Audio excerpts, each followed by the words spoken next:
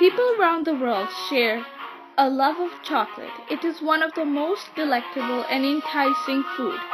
But is it really as sweet as it tastes? Despite of holding such a huge and lucrative global market, total value of $22,607 million, it has a secretive dark part to its sweetness. In West Africa, cacao is a commodity crop grown primarily for export. As the chocolate industry has grown over the years, so has the demand for low-priced cacao. Today, cacao farmers rarely make a living selling the beans and often resort to the use of child labor in order to keep their price competitive. UNICEF estimates that nearly half a million children work on farms across Ivory Coast, which produces nearly 40% of world supply of cocoa. The agency says hundreds of thousands of children Many of them trafficked across borders are engaged in the worst form of child labor.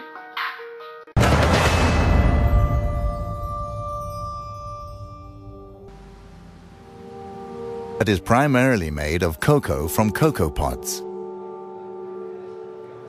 First, we want to find out where the cocoa is from. The cocoa beans is from uh, South America or Africa? Africa. Africa. okay. Elfenbeinküste. Africa and South America. Mostly from Ghana and Ivory. Ivory Coast. Ivory Coast, yes. Okay. Ivory Coast. Ivory Coast, yes. The Swiss company Barry Callebaut is the largest supplier of cocoa mass for the industry. Most of their cocoa comes from the Ivory Coast. How many people have you uh, employees in, in, for instance, in Ivory Coast? In, in, in Ivory Coast, particular, I don't know it by heart. In general, we have almost 1,000 people working in origin countries. In the Oh, group. that's a lot. Out of the 7,500, almost 1,000 people are working in origin countries. What about the rumors? Uh, I've heard, about rumors about child labor and trafficking. Does it exist, the trafficking of kids in, in Ivory Coast? To be honest, I, I don't know. Uh, I don't know if, if these traffics exist, and if it exists, uh, I presume that it is exceptional. I've been yeah, a few times now in those origin countries. These are things I haven't seen myself.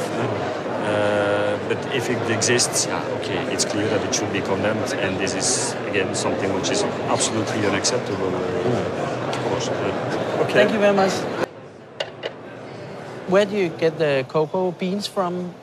Um, the cocoa beans, they come from different regions uh, in the world, but most of our cocoa beans, they come from uh, Africa. Okay. Cote d'Ivoire, Ghana. Do you know where the beans are coming from in, in Ivory yes. Coast? Yes. You yes. do too. So we have that uh, tracking system that really goes back. Uh, we have we work with the three most important uh, chocolate manufacturers in uh, Belgium, uh, which is Barry Callebaut, Cargill, and Belcolade. Because I've heard rumors about, you know, child labor and trafficking. Do you know anything about that? Uh, they have, I think you then ideally speak about that subject with the people from Barry Callebaut, for instance, because they make sure and that they have plans and they work together with the cooperatives uh, in those uh, regions where people are paid properly for their uh, cocoa beans. Okay. The largest chocolate manufacturers signed an agreement in 2001. It's called the Harkin-Engel Protocol. It states that child labor and the trafficking of children are prohibited in the cocoa industry after 2008. Range of organizations, the chocolate industry is accused of covering up the trafficking of children and the use of child labor on the cocoa plantations.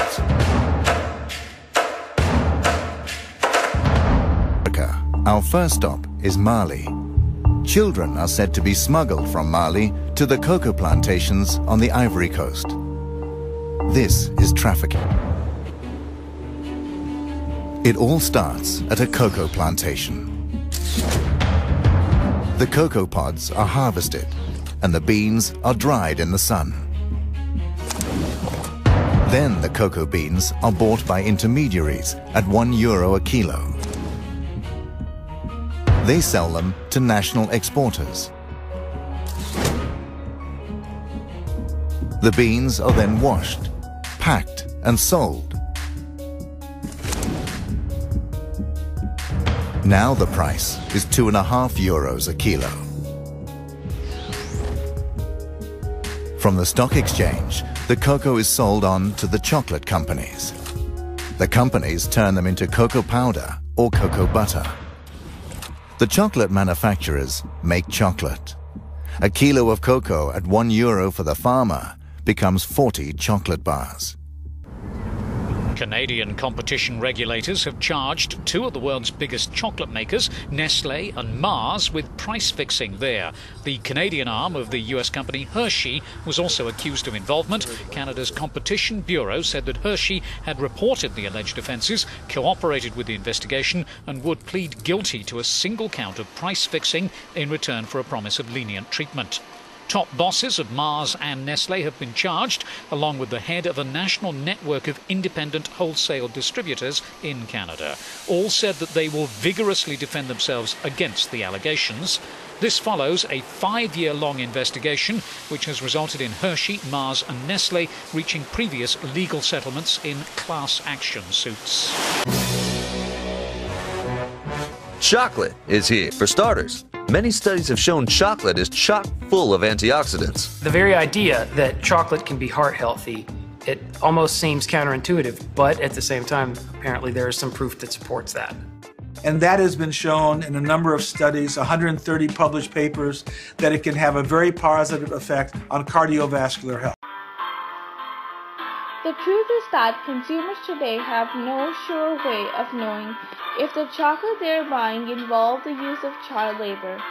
There are many different labels on chocolate bars today, such as Fair Trade Certified. However, no single label can guarantee that the chocolate was made without the use of exploitative labor.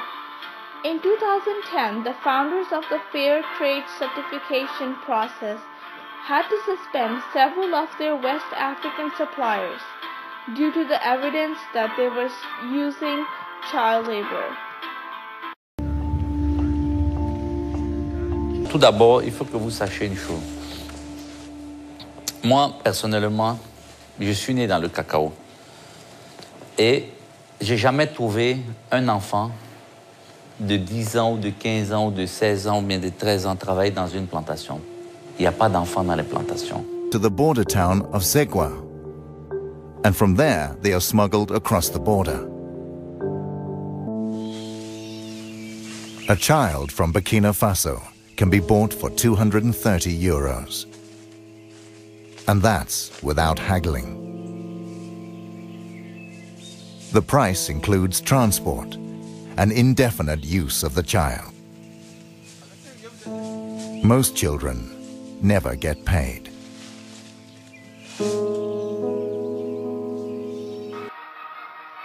Holding a single large pod in one hand, the children strike the pod with the machete and open it with the tip of the blade, exploding the cocoa beans. Each strike of the machete has the potential to severely cut a child's finger or hand. In addition to the hazards of using a machete, children are also commonly exposed to agricultural chemicals on the cocoa farms. In Ivory Coast, they have to deal with profolic insect populations and choose to spray the pods with large amount of industrial agricultural chemicals. Did you uh, want to go to, to work in the cocoa plantation? Ah, naga naga kawali. Ni ni bana kiti bara ke drogi bugo. So ni suma ni suma la tagal fe. Bugo. An kun ka ca kungo kɔnɔ dole nana boli. O togoro nɔ ko b'o minɛ. An tɔw fɛnɛ an bolila. An ka kɛ si kungo kɔnɔ. An n'a si dole ka kako foro kɔnɔ. Ale fɛnɛ nana ye k'an ɲininka an y'a togo an y'an togow fa fɛ. Fɛnɛ an don mɔbili kɔnɔ k'an bila ka na. The use of child labor in the cocoa industry is prevalent. This is in spite of the international chocolate manufacturers in 2001 having signed a protocol to the contrary. In my uh, neighborhood where I'm living, I'm experiencing this every day. We're told that trafficking takes place from the bus station. The man has spotted a girl entering a bus with a female trafficker. Maybe I can step in here and look down. Once we get to the bus, the woman has disappeared. This is the girl, you know, that was Yeah. uh, they took out of the, of the bus now. Yeah. Uh, what's your name? Ebo, Ebomi. Segu is a village 450 kilometers away from this bus station. But why is she here? Musoi, am mufe kibita musoro Côte d'Ivoire. Alo, ako ni ko ko beta wasray. Eh, etu agla kibita war soro. The girl says she's 12, but Yushao thinks she's younger. She was promised work in Bouaké, an area with many cocoa plantations. Isomo ko nyana fimbi lawa. Mene sera kata sa warti bolo ube mufo. Oben korofo. Ni sera kata so sisan ni warti bolo ube mufo. Wa ko ne mata wa nyinna. Ni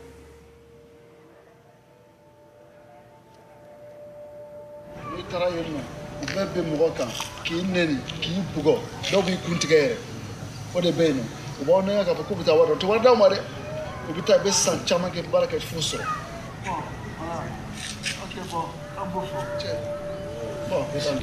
The girl is now handed over to social services, who will bring her back home.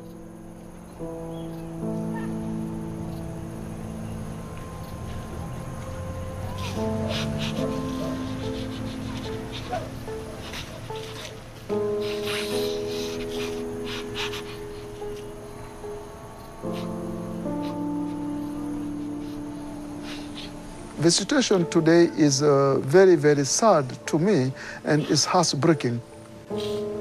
But this is not the first time, you know. My life is full of this kind of situation. This is why, you know, I really feel very, very bad and cry.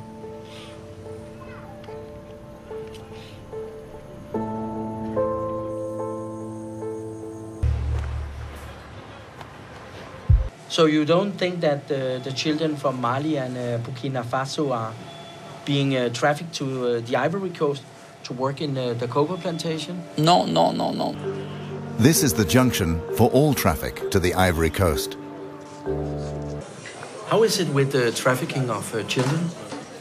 adi sisan denmisɛn trafiki bɛ yen a bɛ yen denmisɛnninw bɛ bɔ don o don bɔn anw yɛrɛ ka baara bɛnnen bɛ gari kɔnɔna de ma yan san tan ni fila san tan ni saba san tan ni naani He has statistics of the children he has rescued from trafficking.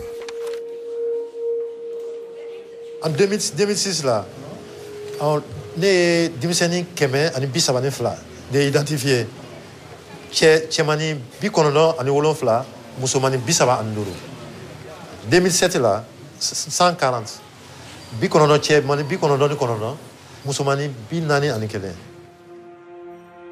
In 2008 and 2009, he rescued over 150 children.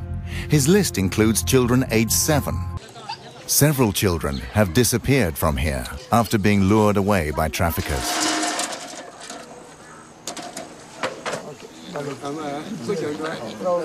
How many uh, children has uh, left your village to go to the Ivory Coast? How old are the, the children when they uh, leave? santan saba du santan fila du santan duuru yɛrɛ o ni mobilitigi ni ma bɛn sira fɛ dɔrɔn k'a sɔrɔ pase b'o bolo bɛ se k'o lataa mɛ ala forotigiw tun bɛ dɛn ka na olu ta lɔgɔduguw la ten ka taa n'o ye ten faw t'a kalama Ɔhɔn, o bɛɛ bɛ kun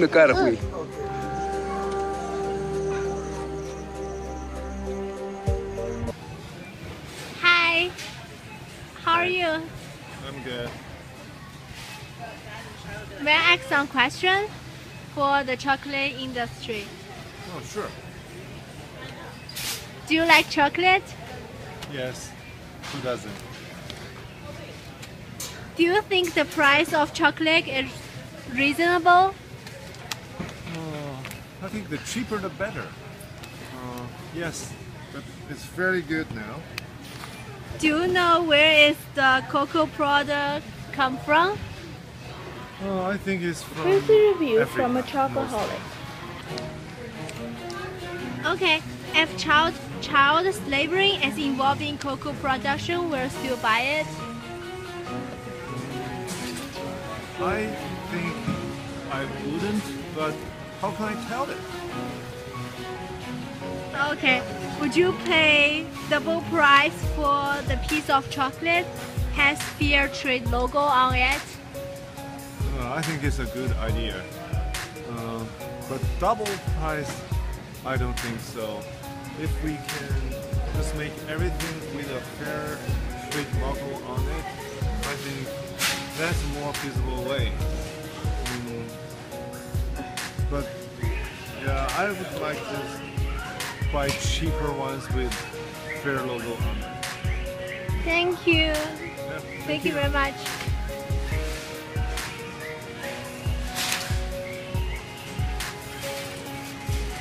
plant, we make about a million pounds of chocolate every single day, and we use as much milk as the city of Philadelphia.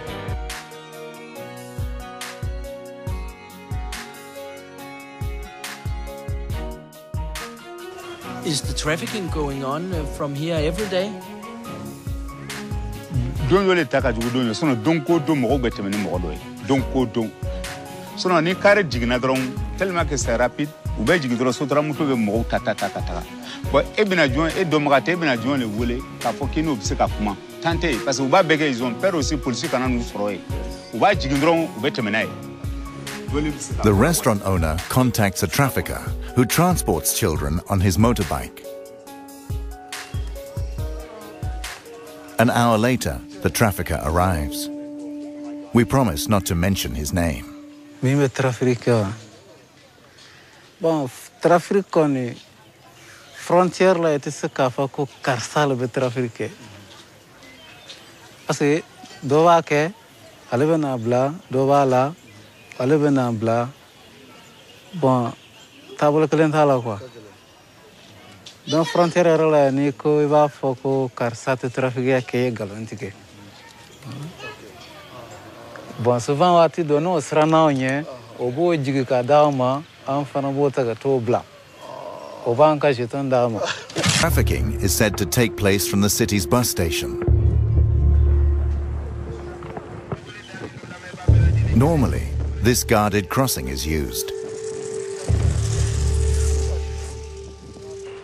According to the restaurant owner, while they're going over land, we fly to the cocoa capital of Abidjan in the south, houses the head offices of the largest chocolate manufacturers.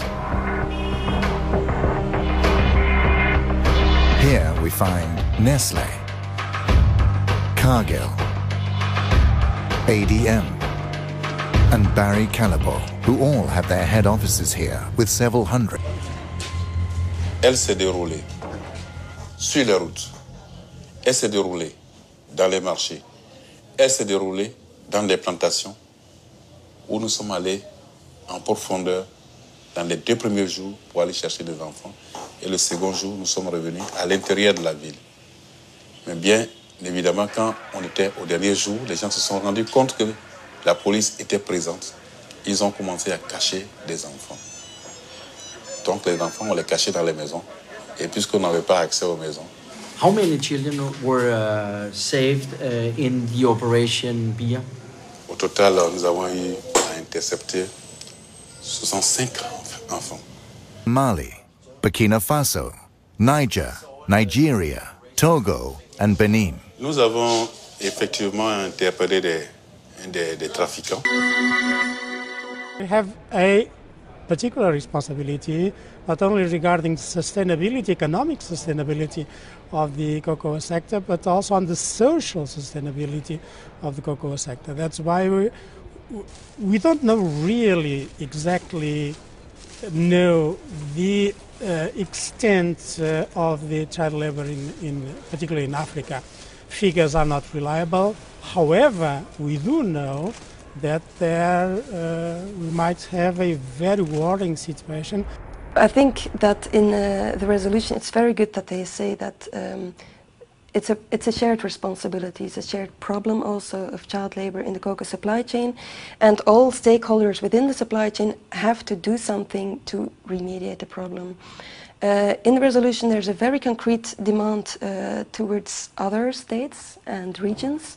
European Parliament uh, proposes in trade agreements that they want legally binding measures uh, when there's a breach uh, against human rights. Um, and there's even measures in case of infringement. So I think that's very valuable. The, the Interpol has rescued uh, 65 children in an operation. What is your comment to that? C'est médiatisé, c'est la catastrophe. L'État de Côte d'Ivoire, même les journaux en parlent, la télévision en parle, aux infos. Oui, on a trouvé un enfant dans une plantation, cinq enfants, et le gars, il est conduit directement en prison. Donc vous conviendrez avec moi que l'État est en train de mener cette campagne de lutte contre euh, les enfants dans les plantations. More than 10 years ago, uh, the industry made a promise to eliminate the worst forms child labor. We're still waiting for that promise to be fulfilled, and we cannot wait for another 10 or even 20 years. I mean, things have to change now because otherwise, for children, the future will not change in West Africa. I, I went to the north, uh, the northern part of Ivory Coast, the borders uh, up uh, next to uh, Zégoua. The traffickers just, you know, take the children and uh, go through the, the back road. But honestly, between you and me, okay? The crop, the cocoa crop, starts in October and finish in March. So if you see people coming in July, September, October, it's not for cocoa. There's no cocoa around, so it's not a work in the cocoa farm, in the cocoa farms. Coming in Cote d'Ivoire to have, I mean, Cote d'Ivoire is like uh, we are, are foreign. We want to go to France, we want to go to United States to spend, I mean, for vacation of September, in July, August, September, what they're gonna do? There's no fee. About in April. In April, uh, that's different. Yeah, but I, I saw it in April actually. In April, that's the only thing, I mean, that's the one thing we, we stop in April. People may, I mean, they will try to do it. There is the law against, we've got the law, trafficking, uh, uh, child labor, everything. It's against Ivory Coast law. It's against.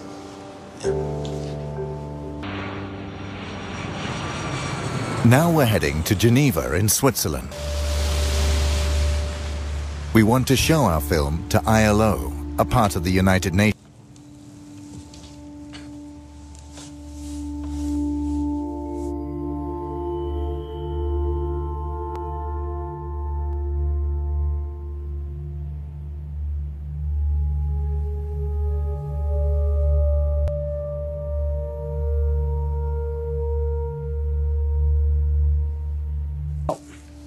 How do you feel about that? It's very sad. It's very sad to see. I must say, it's a very. Uh, it's often, uh, you know, I, I, personally, I've been working uh, in the area of uh, uh, programs and policies against child labor for some uh, 13 years now. But every time you see something like this, you know, it, it serves as a, as a shocking reminder, I must say. And often enough, you know, I have to add, perhaps, it's a, it's a feeling of, uh, of helplessness which overcomes you when, you when you see something like that. I, mean, it's a very, uh, it's a very dangerous uh, uh, uh work kids do in these uh, plantations. It's not only the machetes, but it's the, it's they often carry heavy loads. we, we see that they are, they're often exposed to pesticides. Mm -hmm. When you work with pesticides, the effects will only come out in, in 20 or 30 years. Yeah. Does the protocol work, in your opinion? I think uh, we have seen uh, some progress uh, in the area. Um, the, the, the topic has been has been kept in the international debate. governments have been sensitized, and some knowledge has been put on the table. But in terms of real change, uh, we have seen relatively uh, little so far. If you ask me now, well, how many kids do actually work in cocoa plantations in Cote d'Ivoire and, uh, and Ghana? I wouldn't be able to give you an exact figure. Yet not them. I did. Nancy, I made for Ban, uh, school, pa, manage school. Now university na mbɛyɛ parliament.